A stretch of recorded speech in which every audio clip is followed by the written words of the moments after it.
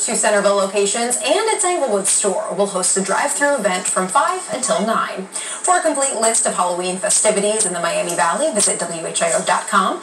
There we've posted trick-or-treat times for each community and information about other events across our viewing area.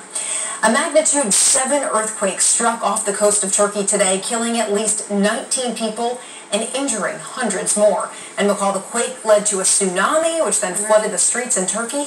Yeah, unfortunately, there were no tsunami warnings, but this 7 magnitude earthquake just off the shore there of Turkey created a ripple effect. I saw lots of videos on social media of the water there receding and exposing the beach. You saw that some of the boats were actually grounded because the water rushed away. Take a look at this damage, Molly. Isn't this incredible? That whole building collapsed. Wow. Um, there were, as you mentioned, nearly 20 people that perished from this, and I'm sure they are going to see that number climbing as well this is such a natural phenomena, and again, sadly, there was no tsunami warning as that water came rushing back in. There's that complete drop down of that one building.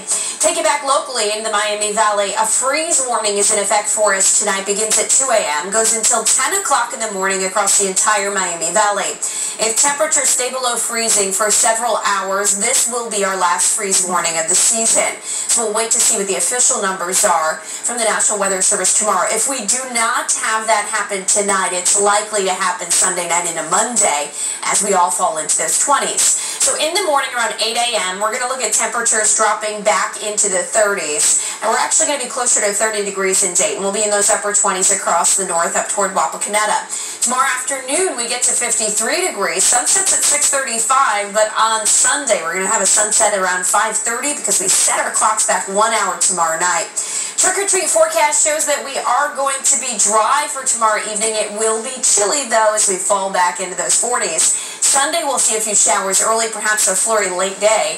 Sunshine and cool temperatures into next week. I don't know if I'm ready to be hearing about flurries yet. It is still October. That'll do it for us tonight. Touchdown 7 is up next.